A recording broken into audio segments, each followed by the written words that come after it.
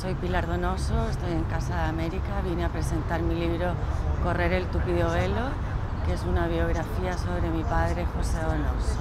Pues sí, más bien es descorrer el tupido velo, ¿no? Ha sido mostrar toda esta parte oculta eh, de mi padre, también una parte conocida, cotidiana, yo creo que hay toda una... Eh, lo que, traté es de perfilar su, su personalidad, que fuera lo más concreto posible más allá de, lo que se revela como íntimo, es como todo también su proceso literario, su proceso personal, sus temores, inseguridades. A medida que estos cuadernos, que en el fondo son como diarios, los iba leyendo, iba descubriendo un padre que si bien yo intuía, o sea, uno sabía que estaba ahí de alguna forma, eh, verlo plasmado, escrito por él, y también con una crudeza bastante eh, terrible con él mismo, muy, muy severo, también con mucho dolor. Eh, me sorprendió. También los diarios de mi madre, aunque son en otro giro, no son diarios literarios ni mucho menos, eh, pero también lo mismo, como un gran, gran dolor, como mostrar sus fisuras sin pudor, digamos, ante esas páginas en blanco. Yo creo que principalmente su dedicación a la literatura, su pasión por la literatura, que era un escritor 24 horas al día, ¿no?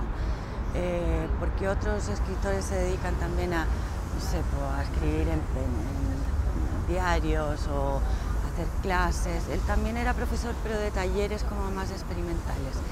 Eh, también su parte como eh, de ser humano complejo que viene desde la niñez, con sentirse paria, de estar siempre al margen de, siempre se sintió al margen de, la etapa que fuera de su vida.